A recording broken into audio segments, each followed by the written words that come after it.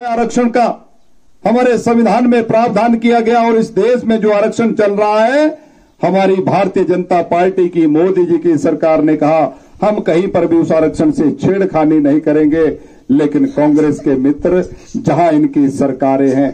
आज कर्नाटका में इनकी सरकार है, वहाँ पर हमारा एससी का, ओबीसी का आरक्षण छीनकर अल्पसंख्यकों को देने का काम ये कांग्रेस कर रही है, जो देश के लिए बहुत घातक है। इसलिए भाइयों बहनों, मैं कहना चाहता हूँ कि ये कांग्रेस के लोग कहते कुछ हैं और करते कुछ हैं। ये कह रहे हैं कि हम आपका आर्थिक सर्वे करवाएँगे, आपके पास जो संपत्तियाँ हैं उसकी जाँच करवाएँगे और जो आपके पास आपकी पूंजी कमाई हुई मेहनत से बुज़ुर्गों के द्वारा दी गई, उसका अगर आपके पास दो घर हैं तो उसको ले लेंगे।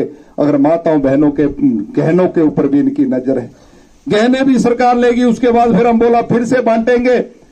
मकान, आपकी जमीनें, इस प्रकार से ये नीति बना रहे हैं। इस प्रकार से कांग्रेस के घोषणा पत्र में इन बातों का ज़िक्र किया गया है।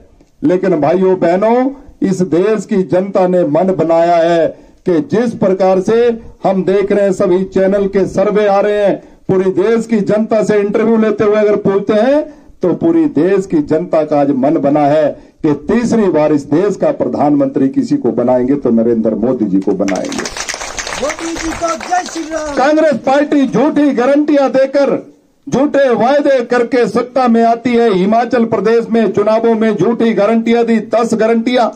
महिलाओं को कहा कि दिसंबर में सरकार जनवरी में पंद्रह सौ रुपया खाते में किसानों को कहा दो रुपए किलो गोबर, सौ रुपए लीटर दूध खरीदेंगे। एक लाख युवाओं को नौकरी देने की बात कही और कहा कि 300 यूनिट बिजली फ्री देंगे। वो एक भी गारंटी कांग्रेस पार्टी ने पूरी नहीं की। 16 महीने का समय चला गया। अब लोकसभा का चुनाव आया तो दिल्ली से कांग्रेस ने कहा कि हम 25 गारंटियाँ दे रहे हैं। मैं कांग्रेस के मित्रों को कहना चाहता हूँ कि आपकी इन गारंटियों का पूरी जनता को पता चल चुका है। आपका ये झूठा खेल ये खत्म हो गया है। आप लोगों को ठग कर वोट लेना चाहते हैं, झूठी गारंटियाँ देना चाहते हैं। आप इस देश की जनता समझ चुकी है, इस देश में कोई गारंटी चलती है तो एकमात्र गारंटी है, वो है नरेंद्र मोदी जी की गारंटी नरेंद्र मोदी जी की गारंटी इस देश में चलती है, जो कहते हैं, वो करते हैं। नरेंद्र मोदी जी ने 50 करोड़ लोगों के बैंक के खाते खोल दिए। 10 करोड़ किसानों के खाते में दो दो हज़ार की तीन किस्तें आ रही है। 25 करोड़ लोगों को गरीबी रेखा से बाहर निकाल दिया।